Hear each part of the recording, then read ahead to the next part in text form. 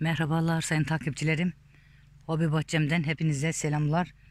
Şöyle sizlere bahçemi gezdireceğim. Şu lahanalarımı şöyle yeni diktim. Şöyle koca bir tarla. Bunların dibine kül döktüm. Kül dökünce böcek gelmiyor. Küllerimi ziyan etmiyorum. Böyle diplerine döküyorum. Şöyle bahçemi sizlere şöyle son halini göstereyim.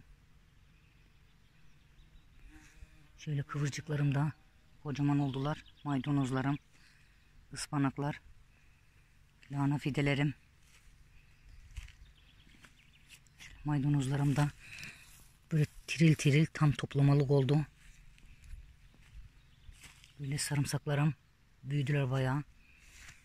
Şöyle sizlere naneyi çekeyim. Nanelerimi görüyorsunuz. Çok harika.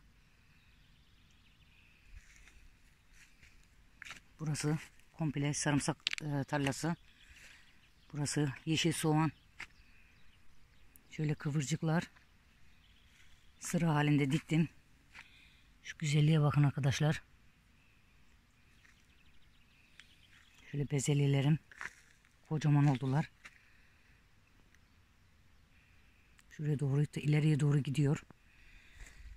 Şöyle çuvallara patates ektik. Geçen gelişimde biraz ekmiştim. Şöyle birkaç çuval daha diktik. Çuvalda patates deniyoruz bu sene. Burada patlıcan tohumu, kapya biber, kapya biber, yeşil biber, ince kıl biber, biber tohumu, acı biber tohumu. Bu şekilde bayağı bir çalıştık. Burası benim bağ evim. Kapının önünde masa. Şöyle bağ evimde sizlere çekim yapıyorum. Şöyle iki kovaya da biber tohumu ektim. Kovaların içine de hepsini deniyoruz. Bu zeytini de bir türlü dikemedik. Tarlanın bir tarafına dikeceğiz zeytin ağacını. Şöyle yakmak için, kuzene de yakmak için odun aldık. Tam kapının önünde şöyle e, turpotu bitmiş. Şunun güzelliğine bir bakın. İnanılmaz derecede güzel. Manzarası harika. Kapının önünde biten çiçekler. Şöyle mor, beyaz Çiçekler böyle güzel güzel bitmişler kapının önünde. Evet arkadaşlar şimdi de evimin, bağ evimin iç kısmını gösteriyorum sizlere. Böyle önce tavanında şöyle elektrik tesisatları var. Şöyle burası bağ evindeki odam. Şu şekil iki tane çeket attık. Şu koltuklar veranda yapılacak. Verandaya gidecek. Bir ikilisi var.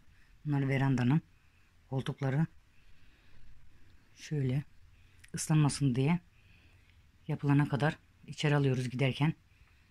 Şöyle çeket attık iki tane. Şöyle bir bu tarafa bir de şu karşıya iki tane çeket koyduk. Şöyle fiskos aldık içeride bazen Yağmur yağınca bir şeyler yiyip için. Şöyle. Burası da mutfak bölümü. Şöyle mutfak tezgahım.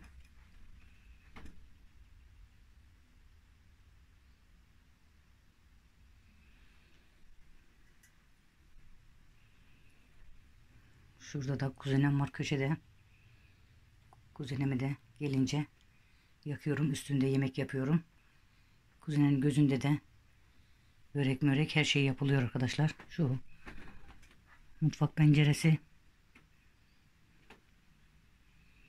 Güneşliği çektim biraz sonra gideceğimiz için.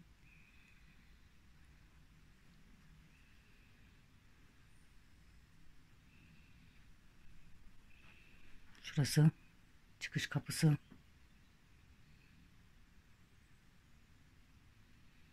şekilde.